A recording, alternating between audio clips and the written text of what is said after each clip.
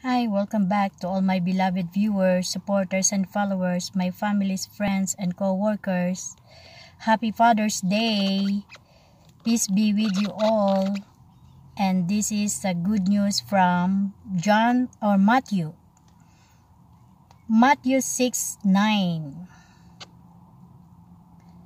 This is a prayer for all fathers. This is then is how you should pray. Our Father in heaven, hallowed be your name, your kingdom come, your will be done on earth as it is in heaven.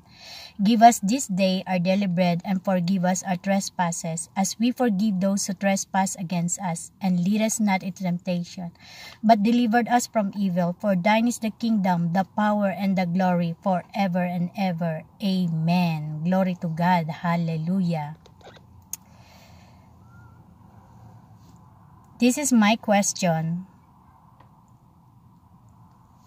What Bible verse is this? And this is my answer. Matthew 6 7.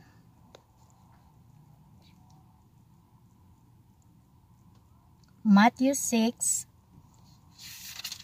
9 to 13. Yes, yan po. Matthew 6, 9 to 13.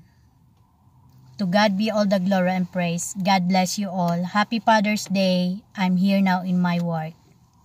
Glory to God. Hallelujah. Bye for now. See you on my next video.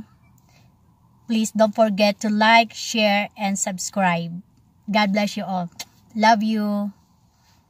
God be with you all. Bye.